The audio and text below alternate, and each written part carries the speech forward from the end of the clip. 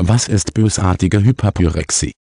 Maligne Hyperpyrexie ist eine potenziell lebensbedrohliche Erkrankung, die sich bei Personen entwickelt, die Vollnarkose-Medikamenten ausgesetzt sind. Weniger häufig kann jemand die Bedingung als Folge von Stress durch Training oder extreme Hitze entwickeln. Die Erkrankung wird auch als maligne Hyperthermie oder malignes Hyperthermie-Syndrom bezeichnet Anästhetika überwältigen das Kreislaufsystem von Personen, die an maligner Hyperpyrexie leiden. Die Belastung des Kreislaufsystems kann zum Tod führen, wenn es nicht sofort behandelt wird. Zu den Symptomen einer malignen Hyperpyrexie gehören eine schnelle Herz- und Atmungsrate, eine erhöhte Kohlendioxidproduktion und Sauerstoffverbrauch, Muskelsteifheit, hohe Temperaturen von mehr als 105 Grad C, ein Anstieg des Säuregehalts des Blutes und a. schneller Abbau im Muskelgewebe. Die Symptome einer malignen Hyperpyrexie entwickeln sich nach Anästhesie schnell, normalerweise innerhalb einer Stunde. In seltenen Fällen kann es jedoch mehrere Stunden dauern, bis sich die Symptome entwickeln. Die Behandlung mit Dantrolennatrium kann die Symptome umkehren.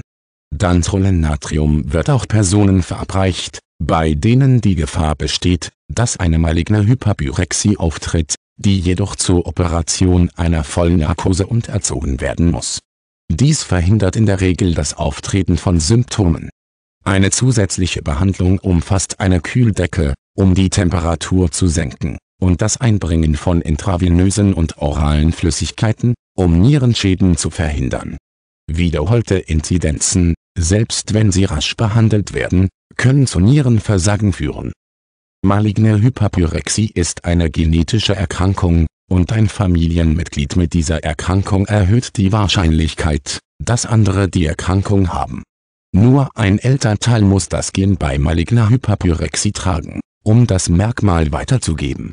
Die Vermeidung von Vollnarkose ist der einzige Weg, um zukünftige Probleme zu vermeiden alle Fälle von unerklärlichem Tod unter Anästhesie in der Familie sollten mit einem Arzt besprochen werden, bevor eine Vollnarkose durchgeführt wird.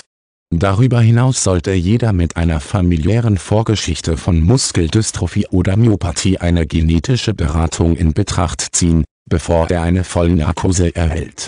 Es wird geschätzt, dass 1 von 100.000 Personen diesen Zustand haben kann die Sterblichkeitsrate beträgt rund 6%. Es ist wichtig anzumerken, dass Vollnarkose-Medikamente, insbesondere die Kombination von Anästhetika und neuromuskulären Blockierungsmedikamenten, das Problem schaffen.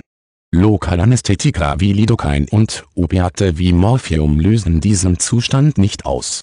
Personen, die möglicherweise das genetische Merkmal einer malignen Hyperpyrexie haben, sollten jedoch Kokain, Ecstasy, Amphetamine und andere Stimulantien meiden, die ähnliche Symptome auslösen können